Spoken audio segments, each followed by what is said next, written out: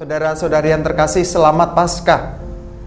Hari ini Kamis tanggal 25 April 2019 kita masih merenungkan tentang kisah kebangkitan Yesus.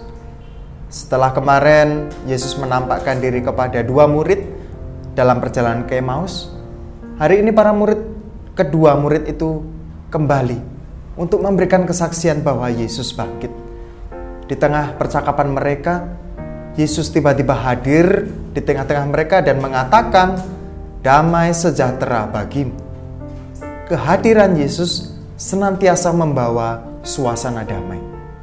Saudara-saudari yang terkasih, apakah hidup kita senantiasa menerima Yesus dalam kehidupan kita? Karena ketika kita menerima Yesus, kita juga akan menerima damai sejahtera yang diberikan oleh Yesus. Maka pertanyaannya berikutnya adalah apakah hidup kita sudah mau menerima Yesus?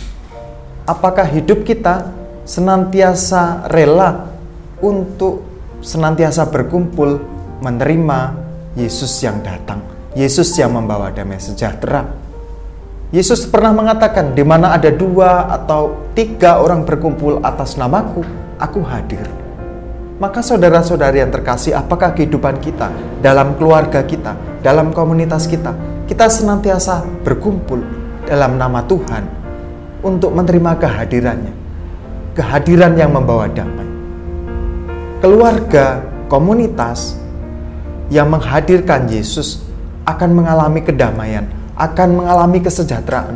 Bukan pertama-tama secara fisik, tetapi batiniah yang terutama.